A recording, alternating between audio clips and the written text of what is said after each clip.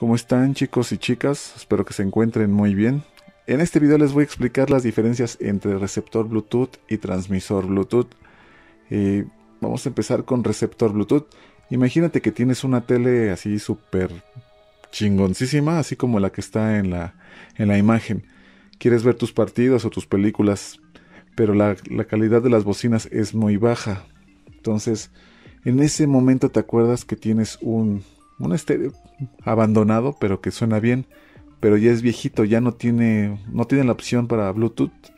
Entonces es cuando entra este dispositivo en modo RX, que quiere decir receptor. Entonces, ¿qué es lo que va a pasar?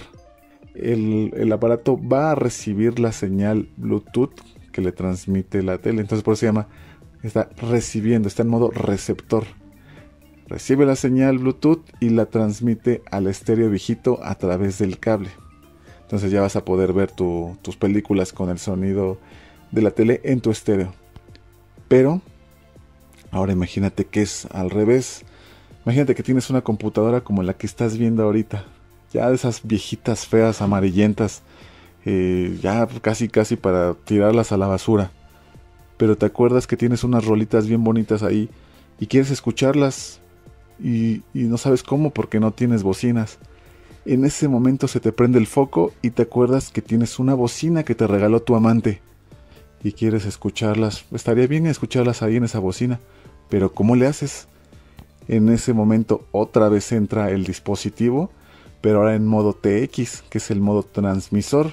Lo que va a hacer en este caso es va a transmitir el Bluetooth, la señal que le está pasando a la computadora horrible.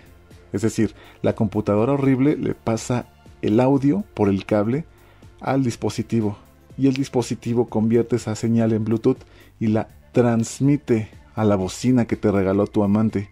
Entonces ya puedes escuchar lo que sonaba en la computadora viejita en la bocina. Eh, prácticamente, para que se entienda el ejemplo, tiene que haber un dispositivo que sí acepte Bluetooth y otro que no, obviamente. El dispositivo siempre va a estar unido con cable al dispositivo viejito, o, no viejito, sino que no acepta Bluetooth, como aquí está en el diagrama.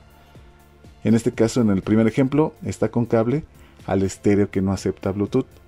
Y en el ejemplo de abajo, también con cable a la computadora que no tiene Bluetooth. La diferencia es que en uno recibe la señal y en otro la envía. Mm, ¿Ok? En la televisión la recibe y la envía por cable al estéreo. Y en el otro es recibe la señal por cable y la transmite vía Bluetooth a la bocina que, insisto, te regaló tu amante.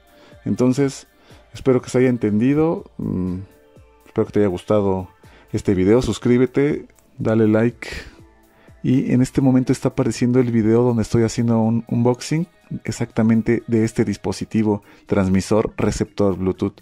Bueno, no este que estás viendo redondito, pero tiene la misma función.